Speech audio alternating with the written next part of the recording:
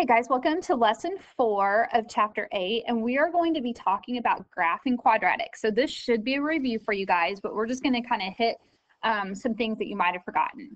Okay, so um, there's usually three different forms um, that you deal with. So vertex form, um, I, I, guess I could do it with like letters, um, but a lot of times it's just easier to see actual examples of it. So let me do it both ways for vertex Okay, so um, this is the just the generic form for vertex form. And vertex form is really nice because it just shows you what the vertex is. So your vertex is always H and K. So in this case, it's going to be 2, 1 is my vertex. Okay, in standard form, I'm going to do the same thing. Um, so this is the generic equation for it. And then I just use this example because um, standard form is not as easy to get the vertex. So to find the vertex, we have to first find the axis of symmetry. And the axis of symmetry, um, to find that, the formula for that is x equals negative b over 2a. So if you'll remember the axis of symmetry, so I'm just going to pretend, oops, that this parabola goes right here the axis of symmetry cuts the parabola in half. And so it's a line, like this is x equals blah, blah, blah. And we're going to find this using, um, uh, we're going to, sorry, we're going to find it using like the A, B, and C from here. So like, for instance, for this one, our A is 1, our B is 6, and our C is negative 1. So if I wanted to find the axis of symmetry here, it's going to be negative B and negative just means the opposite. So if that's a positive, it becomes negative. If it's a negative, it becomes positive. So it'd be like negative 6 over 2 times 1. So negative 6 over 3 is negative 2. So I know that my axis of symmetry is at negative 2. So I start there. So I know that my vertex is going to be negative 2 something, but I don't know what that something is. So I have to plug in the negative 2 for x in all the places and see what I get. So y equals negative 2 squared plus 6 times negative 2 minus 1. And notice how I'm using the parentheses. Make sure you do that um, because if you don't, your calculator will read it wrong. I just realized that I couldn't divide here. Um, negative 6 divided by 2 is negative 3, and so that's what I'm plugging in everywhere.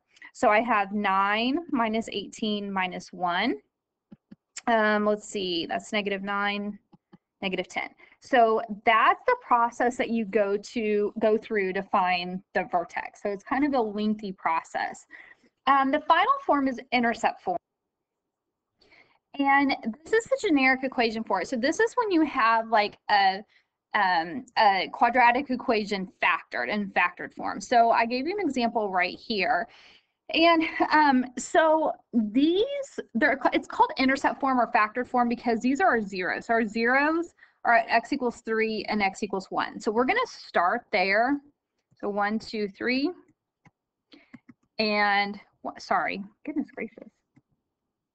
Um, so x equals 1 and x equals 3.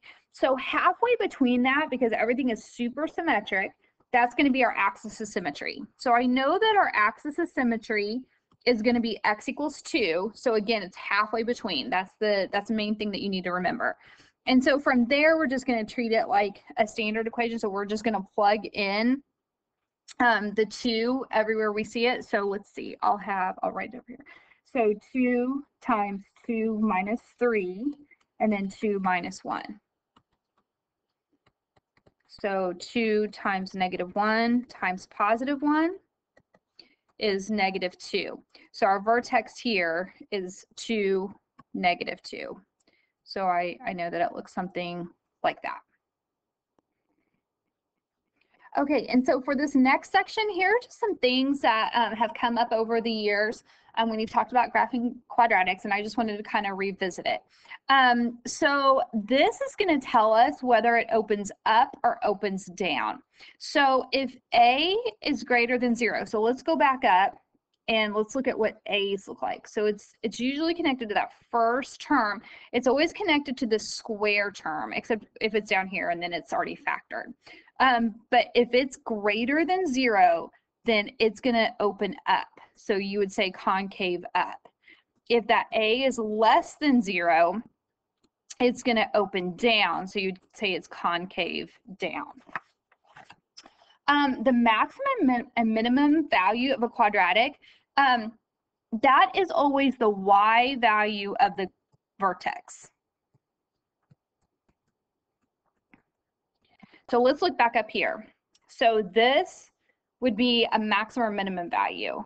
Um, this is going to be a maximum minimum value. This is going to be a maximum minimum value. So it depends on whether it goes up or it goes down. So if it goes up, this y value, the vertex, that's going to be your minimum. And then if it goes down, the y value of your vertex, that is going to be your maximum. So let's look at um, this one, for example. So this opens up, and so I have a minimum at negative 2. So that's how we would say that. Okay, um, the next thing I want to talk about is the domain and range. So the domain on every quadratic is just going to be the set of all reals. You can say negative infinity to positive infinity, however you want to do that. Um, if it is going up, it is going to be, it is going to be your um, y value to positive infinity. If it is going down, it is going to be negative infinity to your y value every single time. And notice how I have like bracket and parenthesis combination depending on what it is. But for everything, the domain is just going to be all reals. Okay, um, finding intercepts. So it doesn't matter if it's a quadratic or doesn't matter. To find the y-intercept, you're going to set x equal to 0. To find the x-intercept, you're going to set y equal to 0 every single time. So what's really nice is like when it's in standard form, um, this is automatically, so I'm setting that x equal to zero. This is automatically our y-intercept. So that's super easy to find. But as a general rule for anything, it doesn't matter if it's quadratics or what, um, this is going to be um, your thought process there. And something else I want to say, um, any quadratic function will only have one intercept. Sorry, I don't think I said the y-intercept. It will only have only one y-intercept. Um, x-intercepts, they might it might have zero, one, or two intercepts. So just kind of depending on the problem.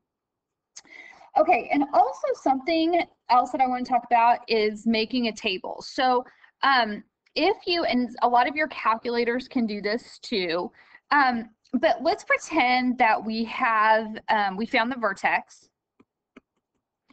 We are going to put the vertex in the middle. So I'm just going to say my vertex was 4, negative 2. I'm just throwing that out there. Okay, so I'm going to go, I'm going to work up on my x value. So I'm going to go 3, 2, and then I'm going to work down 5, 6. If I do it this way, then these values are always going to pair up and these values are always going to pair up. So for example, if I'm trying to find um, the y value in x equals 2, I'm going to plug this in. So let's pretend, um, I have no idea. Let's pretend it's like negative 7.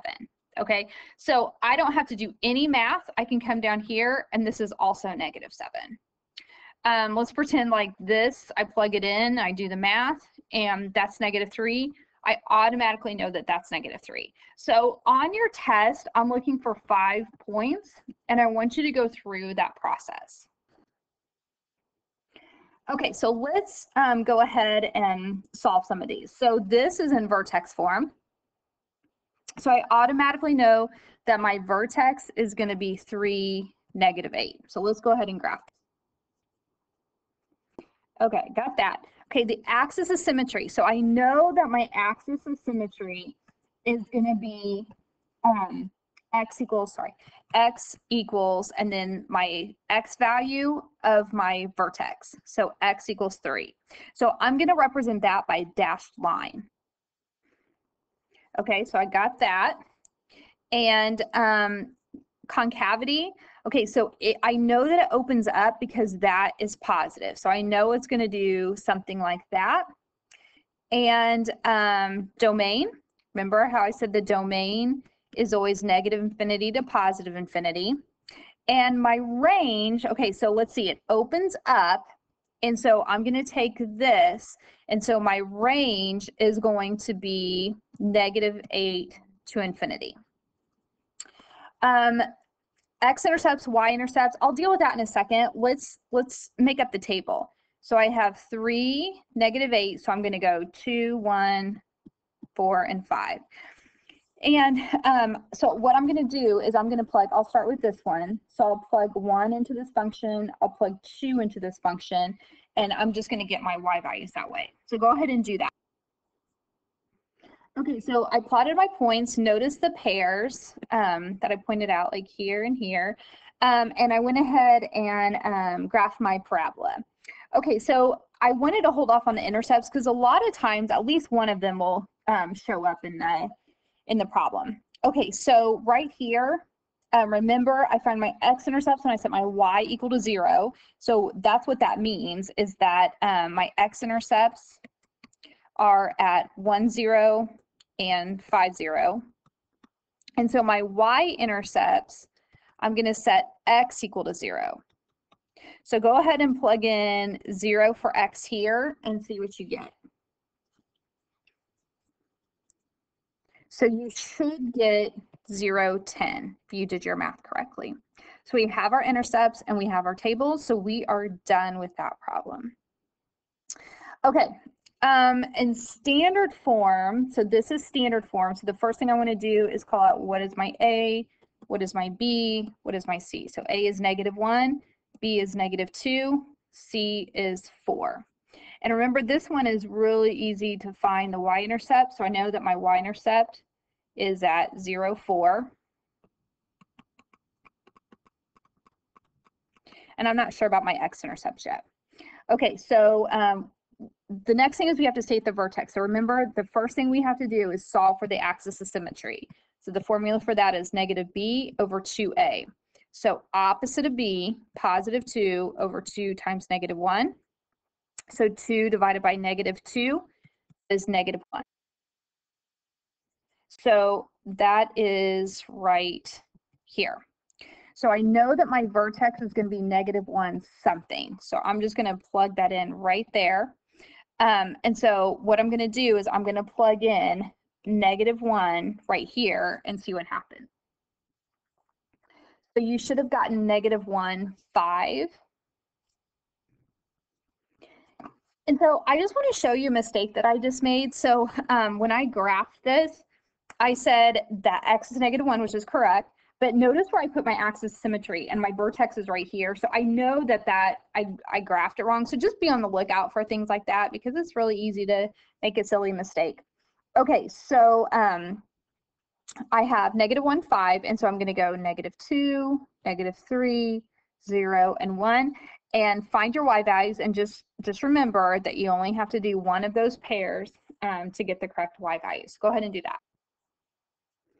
Okay, so I finished the table and I um, went ahead and graphed it and notice the concavity that's opening down.